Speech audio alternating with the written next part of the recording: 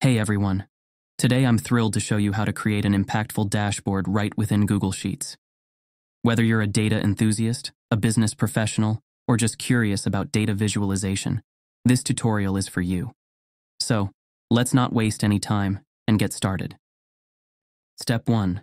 Fire up your browser and navigate to Google Sheets. Once you're in, click on Add New Sheet to create a fresh sheet where we'll organize our data for the dashboard. Now let's populate this new sheet with our data. Step 2. Paste all your relevant data into the sheet. This will serve as the foundation for our dashboard visualizations.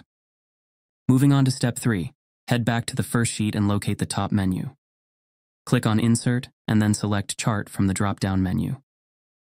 Here comes the fun part. Step 4. Choose the chart type that best suits your data.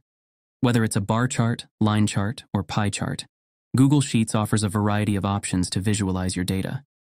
Once you've selected your chart type, click on Select Data Range to choose the data range from your second sheet. This will determine which data points are included in your chart. Now let's make your chart stand out. Step 5. Take some time to customize your chart to your liking. You can change the colors, fonts, and labels to match your personal style or your brand's aesthetic. Don't hesitate to experiment until you achieve the perfect look for your dashboard. But wait, there's more. Step 6. Don't stop at just one chart. Google Sheets allows you to add multiple charts and visualizations to your dashboard. Experiment with different chart types and combinations to provide a comprehensive overview of your data.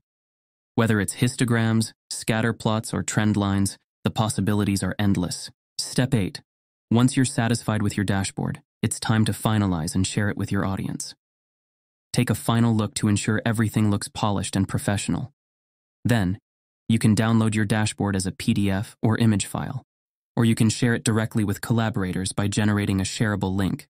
And there you have it, folks.